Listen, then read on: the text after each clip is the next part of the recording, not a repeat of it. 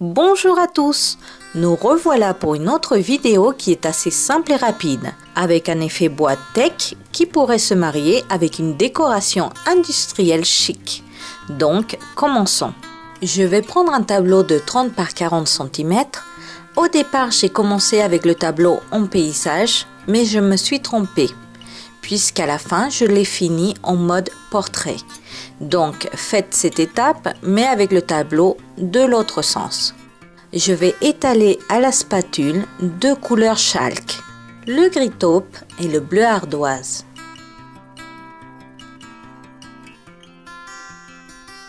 Je disperse des petits paquets un peu partout, puis avec la spatule, je vais commencer par étaler le gris taupe.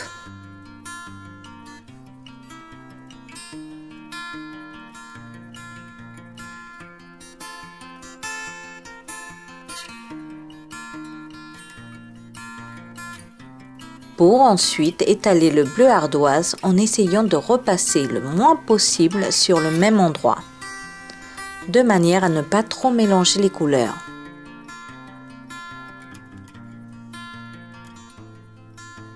Ce n'est pas grave si je ne comble pas toute la surface puisque je veux créer un effet de bois abîmé. Ensuite, je prends la spatule effet bois et je racle de haut vers le bas tout en inclinant de l'avant vers l'arrière. Et je fais ça sur tout le tableau.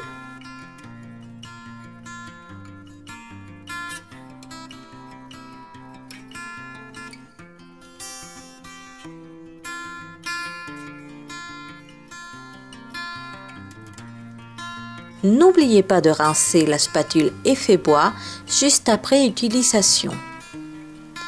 Et voici le résultat. Maintenant, nous allons laisser sécher. Pour ce procédé, vous pouvez prendre la peinture acrylique.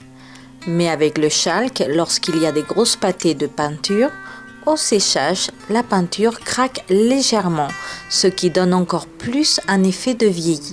Maintenant, pour mieux faire ressortir les reliefs du bois et les craquelures, nous allons passer une couche de lion. Pour cela, je vais le mélanger légèrement avec un peu d'eau, puis deux noisettes de marron et du noir. Mais j'ai fait une trop grosse quantité. Vous pouvez faire largement moins de la moitié. Prenez votre brosse plate, mélangez bien, puis commencez à étaler. Attention de ne pas trop en mettre, car moi c'est ce que j'ai fait. Et j'ai dû incliner ensuite pour enlever le surplus. Donc, faites en sorte d'en mettre un peu moins. Puis, laissez sécher.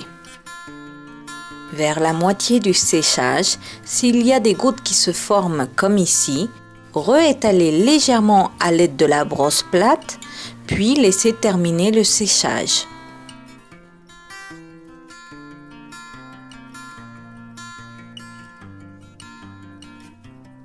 Une fois sec, voici le résultat.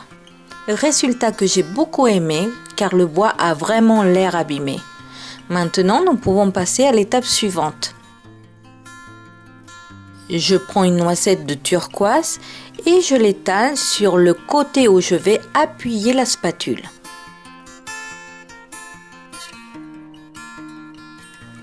Puis j'étale des petites parties sur le tableau Ensuite, lorsqu'il n'y a plus de peinture sur la spatule, je peux commencer à racler et étirer au maximum la couleur de haut en bas, puis sur les côtés.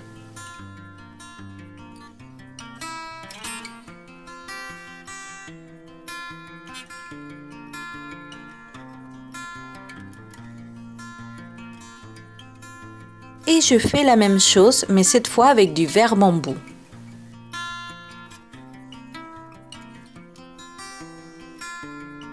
Racler et étirer au maximum la couleur.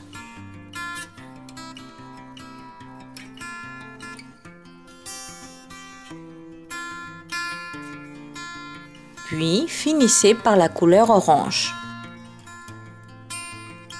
Bien sûr, vous pouvez opter pour d'autres couleurs selon votre choix.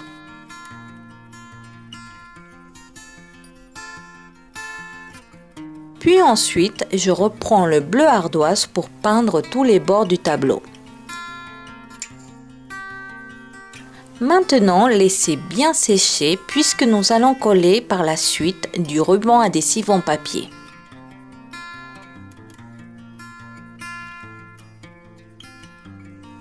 Donc, je vais coller sur toute la longueur du ruban adhésif. Puis, je colle un autre petit morceau juste à côté je vais utiliser comme mesure d'écart. Et je colle un autre ruban. Ainsi, une fois sur deux. Maintenant, je prends la cire ombre. J'en mets une petite quantité sur le couvercle pour m'en servir.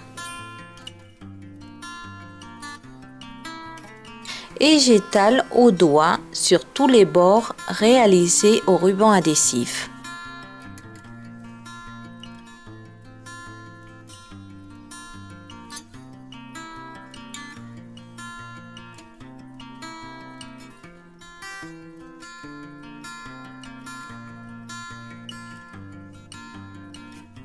Dès que nous avons fini, nous allons délicatement retirer les rubans pour les recoller cette fois sur les zones déjà réalisées à la cire d'ombre.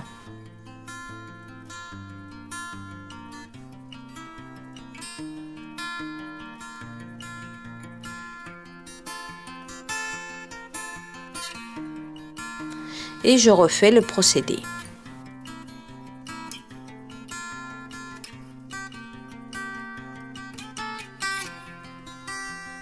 Et voilà, nous pouvons retirer les rubans. Puis garder un morceau du ruban pour cette fois faire sur la largeur. C'est ce qui va délimiter les longueurs des planches.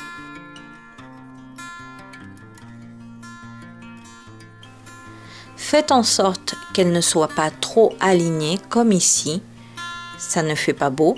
Faites-en un peu partout et de toutes les longueurs.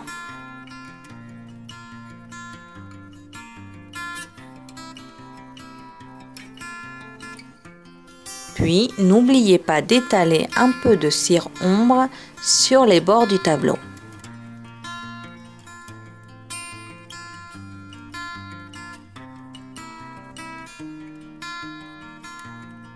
Et nous avons fini le fond. Maintenant, je prends mon pochoir créatif et je le place au centre. Je prends mon pinceau pochoir, je le mouille pour assouplir les poils et je sèche légèrement avant de prendre de la peinture. Ici, j'ai choisi le noir ardoise. N'oubliez pas, pour un motif bien net, les poils doivent être souples et ne doivent pas trop être chargés en peinture.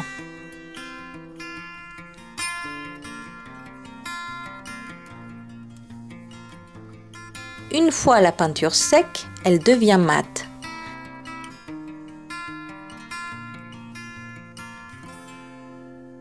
Et voici le résultat final. J'espère que vous avez apprécié et moi je vous dis à bientôt. Bye